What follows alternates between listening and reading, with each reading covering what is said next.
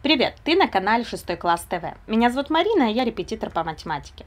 Сегодня мы с тобой решим задание под номером 522 из учебника «Математика 6 класс» Виленкин Жохов. Давай вместе откроем учебник и прочтем условия задания. Итак, решите уравнение. И даны два вот такие вот уравнения.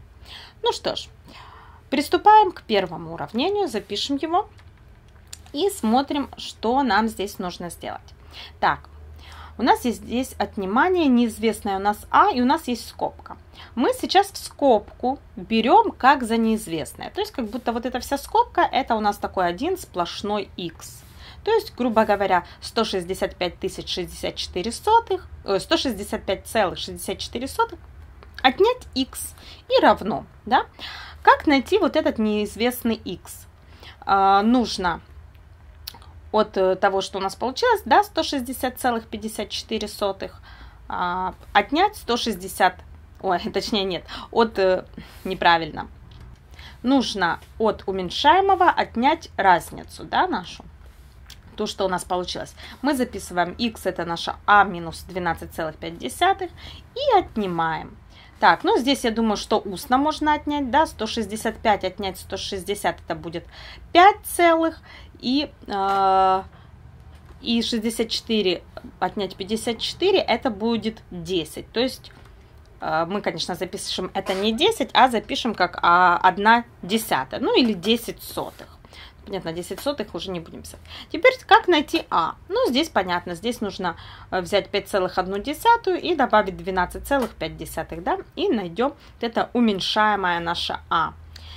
Так, здесь тоже устно. 12 плюс 5 это 17, 1 плюс, 6, э, плюс 5 это 6, то есть 17,6. Ну, обязательно нужно сделать проверку. То есть сейчас вместо А нужно подставить 17,6. Переписываем все то же самое и подставляем 17,6. Ну что, считаем. 17,6 отнять 12,5. 6 минус 5 это 1. 17 минус 12 это 5. 5,1. В принципе, у нас это и было.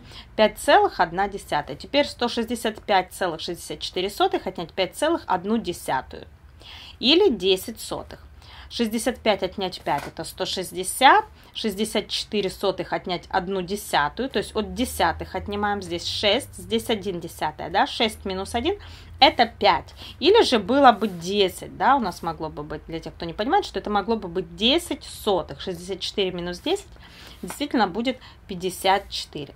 Значит, мы записываем, что, что 160,54 действительно равно тому, что у нас получилось. То есть мы это просто записали, ответ отсюда переписали, да, потом посчитали, сколько здесь будет, записали сюда, и, а это записали сюда, и это действительно равно. Значит, ответ мы нашли правильно. Переходим ко второму. Та же самая ситуация, у нас есть скобка, и скобка будет нашим неизвестным. Как найти вот это вот наше неизвестное? То же самое, нужно от уменьшаемого отнять разницу, да? Отнимаем, тоже, я думаю, здесь можно сделать это устно. А, так, ну или письменно, в принципе, можно быстренько накидать, кому тяжело устно. Отнять 276. Главное, чтобы правильно записывать целое под целыми, да, десятые под десятыми. 0. Здесь будет 9, запятую сносим. От 7 отнять 6, это 1. 1,9. Записали это. Теперь как найти b неизвестное? Опять-таки нужно от э, уменьшаемого отнять разницу. Ну, здесь уже устно можно, да, 6 целых. Это как 65, например, отнять 19. 65 отнять 19 это 46, но у нас только запятая между числами, то есть 4,6. И теперь делаем проверку. Нужно 4,6 подставить вместо нашего b. Записываем наше уравнение и сюда ставим 4,6. Считаем 6,5 отнять 4,6. Но это легко, 1,9. И от вот этого отнимаем 1,9. Действительно получается 276,84. Мы записываем, что это действительно верно, так и получилось.